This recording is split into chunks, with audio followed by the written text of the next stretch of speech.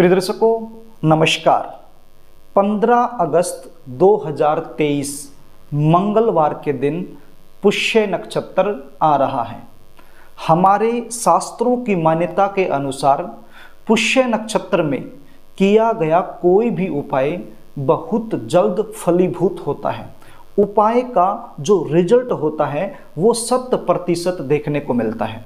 यदि आपकी शादी में लगातार देरी बनी हुई है, लगातार अड़चने आ रही हैं, बहुत ज़्यादा कोशिश करने के बावजूद भी कहीं पर भी शादी के लिए रिश्ता पक्का नहीं हो पा रहा है तो ये वीडियो आपके लिए है।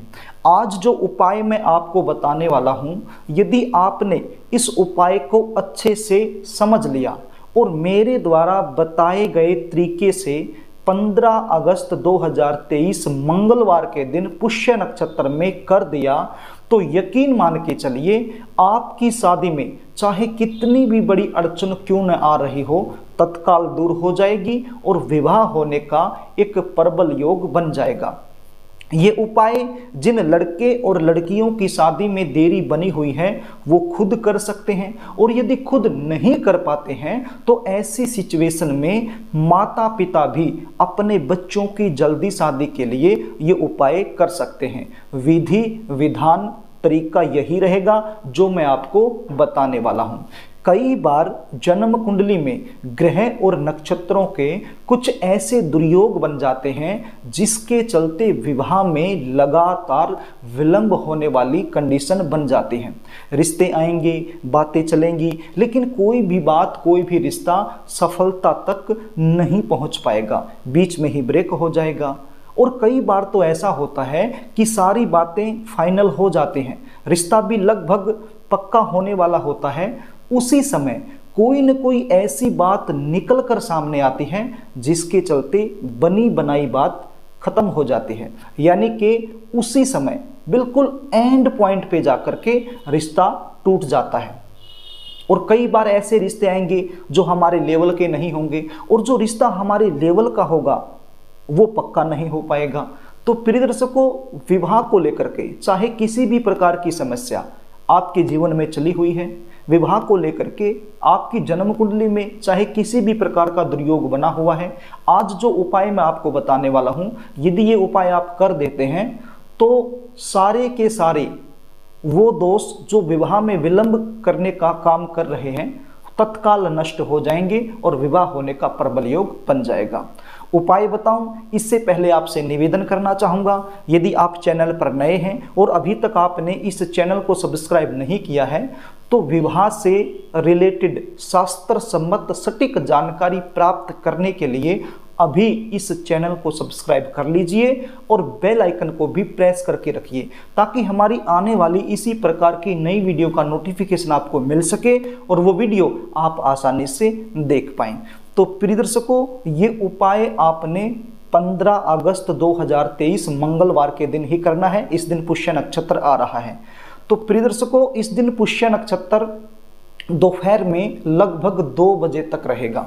तो ये उपाय आपने दोपहर से पहले पहले ही कर देना है, यानी कि सुबह के समय ही करना है। कर तो आप इस उपाय को शाम के समय भी कर सकते हो, लेकिन यदि दोपहर से पहले यदि आप करते हो तो इसका रिज़ल्ट कहीं अधिक मिलेगा।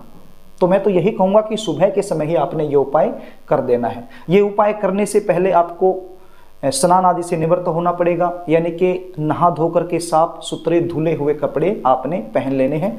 ये उपाय करने के लिए क्या सामग्री आपके पास होनी चाहिए, इसको आप ध्यान से सुन लीजिए। आपके पास लाल बूंदी के पाँच लड्डू होने चाहिए। क्या होने चाहिए? लाल बूंदी के पाँच लड्डू आपके पास होने चाहिए।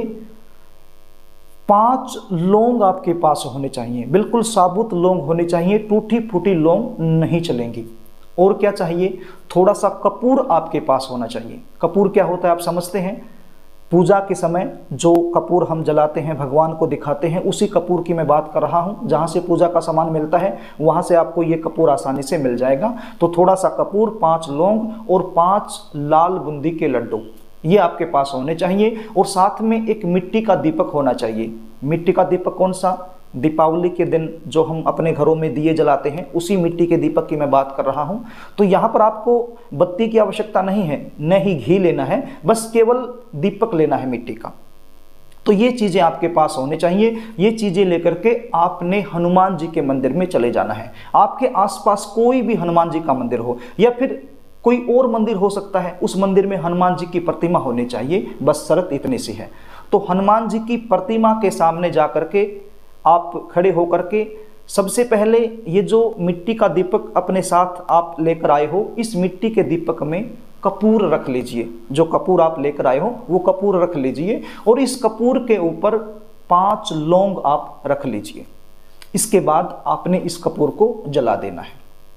अपनी मनोकामना का चिंतन करते हुए।